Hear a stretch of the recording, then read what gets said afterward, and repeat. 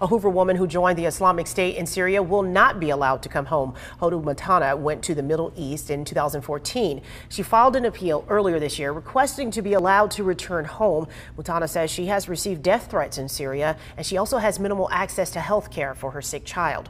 The judge ruled Muthana's diplomatic immunity had been revoked and therefore she is not a U.S. citizen.